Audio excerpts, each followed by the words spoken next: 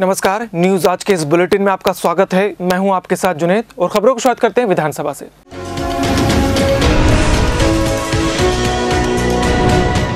विधानसभा के बजट सत्र में बुधवार को शिवराज सरकार का आखिरी बजट पेश होने वाला है। वित्त मंत्री जयंत मलैया कल विधानसभा में करीब दो लाख करोड़ का बजट पेश करेंगे। बताया जा रहा है कि इस बजट में शिक्षा, स्वास्थ्य, कृषि और रोज़गार पर पूरी तरह से फोकस किया गया है। सरकार के मंत्रियों की माने तो इस बजट में सभी वर्गों का ध्यान रखा गया है। मध्यम वर्ग के लोगों के लिए भी बजट में कई सौगातें हैं। किसानों के साथ साथ गृहणियों का भी विशेष ध्यान रखा गया है। केंद्र के बजट की बात करें तो पूरे बजट में कहीं भी मध्यम वर्ग के लोगों को कोई राहत नहीं दी गई है। वहीं छत्तीसगढ़ सरकार का बजट भी पूरी तरह से महिलाओं पर फोकस रहा है। अब मध्य प्रदेश सरकार का ये आखिरी बजट मध्यम वर्ग को कितनी राहत देता है, ये तो विधानसभा में बजट पेश होने के बाद भी साफ़ हो सकेगा। टोटल करते हैं। योग करते हैं तो पचहत्तर परसेंट को क्रॉस करती है। पिछले वर्ष बालाघाट की रिकवरी 82 परसेंट थी। जिन किसानों ने अल्पाइन ऋण लिया उन किसानों ने समय पर अपना ऋण अदा किया। जो भी ड्यू डेट थी 28 मार्च और उसके बाद में एक अप्रैल से उनको नया ऋण दिया गया।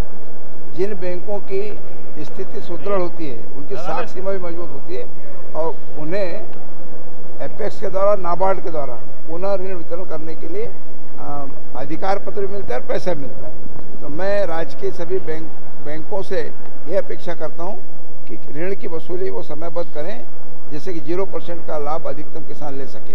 फिर मध्य प्रदेश सरकार ने यह भी निर्णय लिया है कि जिन किसानों ने अल्पकालीन ऋण लिया और अपर्याय कारणों से नहीं पटाया, उस ऋण पर लगभग 2600 करोड़ रुपए ब्याज बनाए। वो 2600 करोड़ रुपए पूरा ब्याज मध्य प्रदेश सरकार ने माफ़ करने का निर्णय ले लिया है।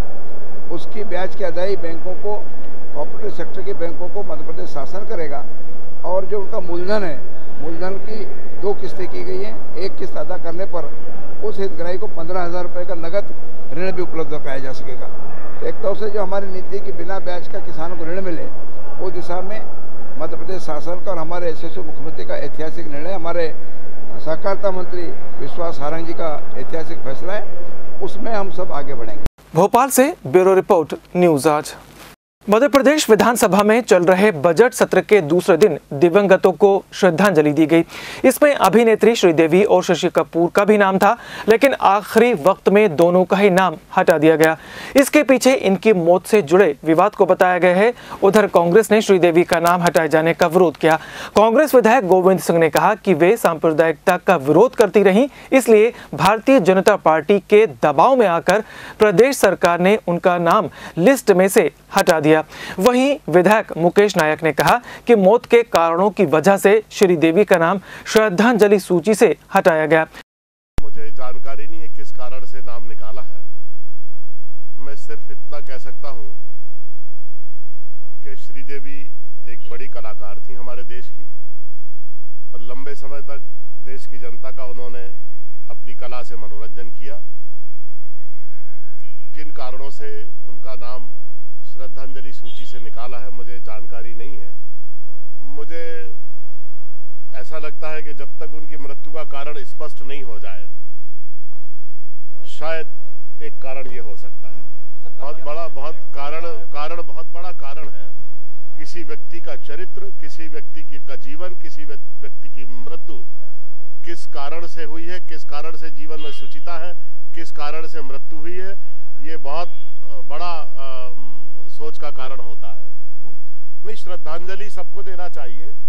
एक कलाकार के रूप में, पद्मश्री के रूप में, लंबे समय तक देश की जनता का अपनी उत्कृष्ट अभिनय से, लोगों का मनोरंजन करने की दृष्टि से वो श्रद्धांजलि की पात्र हैं। लेकिन अचानक उनकी मृत्यु जिस अवस्था में हुई है, उसका कारण भी देश की जनता को पता लगा भोपाल से ब्यूरो रिपोर्ट, न्यूज़ आज। और अब बात करें अगर उपचुनाव की तो मध्य प्रदेश के शिवपुरी ज़िले के कोलारस और अशोकनगर ज़िले के मुगावली विधानसभा उपचुनाव की मतगणना बुधवार 28 फरवरी को होगी। कोलारस उपचुनाव के वोटों की गिनती के लिए 23 राउंड होंगे, जबकि मुगावली में मतों की गणना 19 राउंड में होगी। कोलारस उपचुनाव में 22 और मुगावली में 13 उम्मीदवार चुनाव मैदान में है। मुख्य मुकाबला कांग्रेस और बीजेपी के बीच है। मुगावली में बीजेपी से बाई साहेब और कांग्रेस से ब्रजेंद्र सिंह तो दूसरी ओर कोलारस में कांग्रेस से महेंद्र सिंह यादव और देवेंद्र जैन बीजेपी से चुनाव मैदान में हैं। विधानसभा चुनाव से पहले हो रहे इन उपचुनाव को सेमीफाइनल के तौर पर देखा जा रहा है। हालाँकि कांग्रेस और बीजेपी दोनों ही उपचुनावों में जीत का दावा कर रहे हैं। हम भारतीय जनता पार्टी के सिपाही हैं। पार्टी का नेतृत्व माननीय मुख्यमंत्री जिस मोर्चे पर खड़ा करते हैं, हम लोग काम करते हैं।